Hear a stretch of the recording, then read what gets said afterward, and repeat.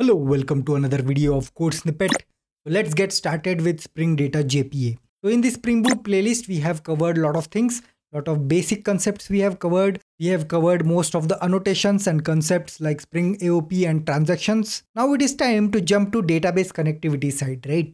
So you have application, you need some kind of database, right? So that is when Spring Data JPA comes into picture. In this video, we are going to have kind of an introduction of Spring Data JPA. So without wasting any time, let's get started. So this is going to be a fun video. So sit back, relax and enjoy the show. So let's just go back and let's see this diagram, right? This might be a familiar diagram of most of you, right? Because I have covered this particular diagram in one of my video when we saw layered architecture initially, right? Now, when we were looking into layered architecture, we saw that inside our Spring Boot application, we have this controller layer, service layer and repository layer, right? Now, whenever we play along with some kind of data or object data inside our application, we need some kind of database to store it, right? We need some kind of database to hold that data, right? Because each time when you reload your application, the data that you store locally inside your project will be scrapped, right? You will not be able to retain that. So the basic use case is basically database, right? We all know this. Until now in this series, we have made use of H2 database, right? And we have done a lot of database operations as well,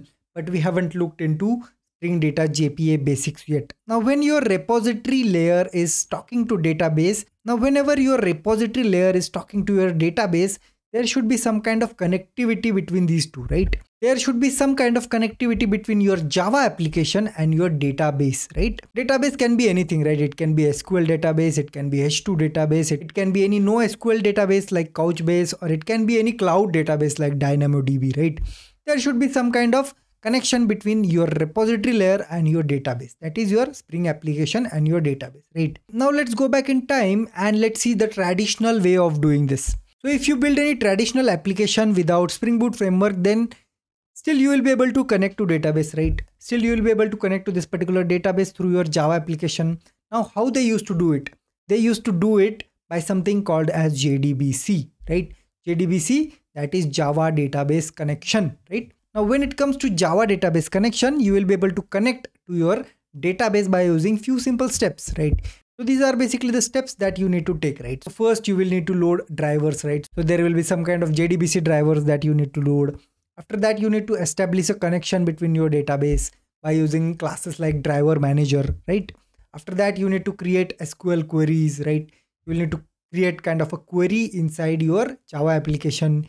You need to prepare a statement. So there will be something called a statement and prepared statement you will need to prepare it according to your use case right you need to actually write a queries that insert into table name then values and blah blah blah like that right here another language comes into picture right? I'm talking about sql in this case. You need to actually write a queries when you prepare a statement right? After that that query might need some parameters so you have your object right? You have your entity or object. Those entity must be mapped to this query right? And those parameters needs to be set right? So you need to write a lot of code in order to do that. And at the end after this step you have the option to execute your query that will actually hit that query on that respective database and insert your data or take the data from the database right basically CRUD operations right nothing else now when Spring Framework came into picture, there is something called as Spring JDBC that came into picture, right? Now this is a framework which automate a lot of these things for you, right? But it's still a JDBC connection, but it will automate this boilerplate code for you, right? So I'm talking about this Spring Data JDBC, right? So this will automate a lot for you, but it is still not JPA, right? So we are moving in a direction of JPA now, right? Now after that, we need to understand the concept of ORM, right? What exactly is ORM? So ORM is basically object relational mapping. The term itself defines what exactly it is, right? The relationship between your object, your Java object or the object inside your object oriented programming. It can be any programming, right? And the relational database that you have, for example, SQL, right? So it's a mapping between your object and relational database. Now, when you are defining your Java object, your Java object will have some kind of fields, right? let's say if you're talking about user you will have user id username email id age and blah blah blah right lot lot more things you will have right now user is your kind of table and the field inside it will be the columns of the table right so id name user like that right for example you have this table you have the user id and you have the username so it looks kind of a direct mapping between your this particular object and this table right? Isn't it? At the end what you are going to do? You are going to perform CRUD operations only right? So why we need to do all these things right? Why we need to establish connection blah blah blah blah. Why the mapping cannot be direct with your object? So that is when orm comes into picture. It will provide the direct mapping between your entity or your model or your java object with your table right for example if you go to code let me just zoom it a bit. If you go to your code you will be able to see that there is a book object. Book will have id title author and genre right? Now these can be direct columns inside your table and your table can be book right? So this object to this particular table mapping is basically orm right? Now in java the object can be anything right? Now for that particular object the respective table should be created inside your database right the entries should be added inside your database automatically right? The data should be retrieved the data should be updated and deleted. Now how these operations are going to happen right? Who is going to take care of creating this table? Who is going to retrieve the data? Who is going to update delete the data inside this table?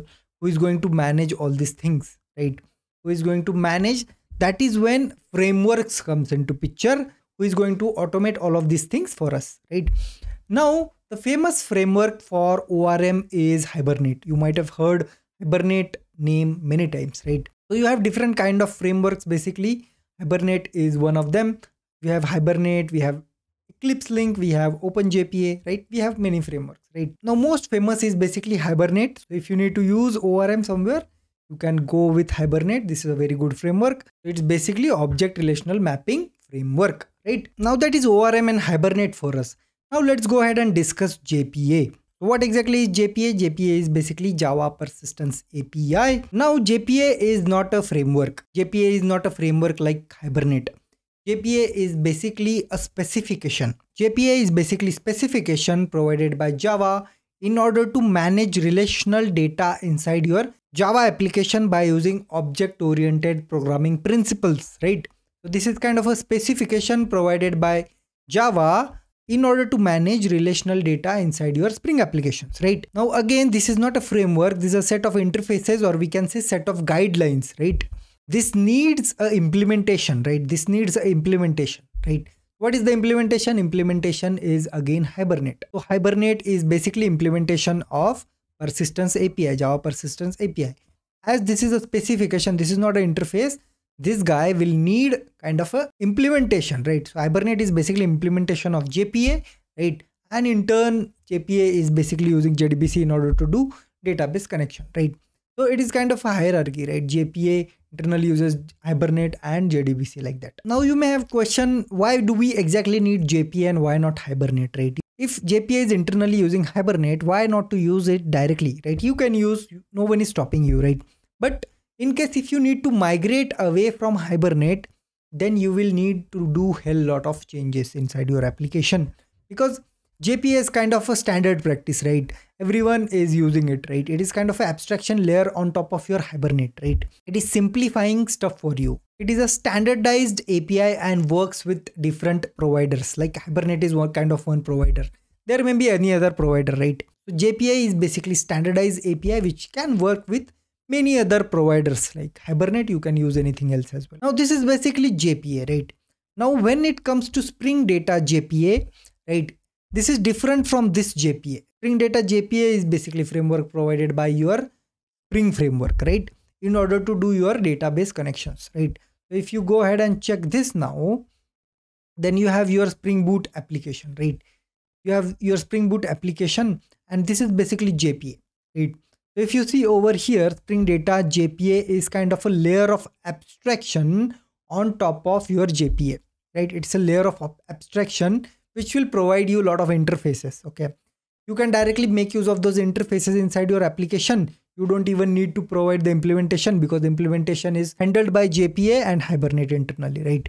Now spring data jpa is abstraction which uses jpa and jpa we know that it needs a implementation and implementation will be hibernate in this case and hibernate will in turn use jdbc and jdbc will do database connections and manage everything for you right so this is how spring data jpa flow will look like Spring Data JPA will make your CRUD operations very easy as it's a layer of abstraction on top of JPA, right? It simplifies CRUD operations by providing interfaces like CRUD repository, JPA repository, and paging and sorting repository, right? So all these repositories we are going to look into when we actually implement this, right? There are many things to look into when we actually jump inside the implementation of JPA, right? So that is something we are going to look into the next video. We are actually going to make use of H2 database and make use of Spring Data JPA in order to do database operations, CRUD operations by using Spring Data JPA, right? So this is basically quick introduction of Spring Data JPA and this is basically base of our next video of implementation, right? So that's it for this video. If you don't want to miss implementation video, don't forget to subscribe to Code Snippet. Share this video with your friends so that they are also aware of what exactly is Spring Data JPA. That's it for this video. See you in the next video.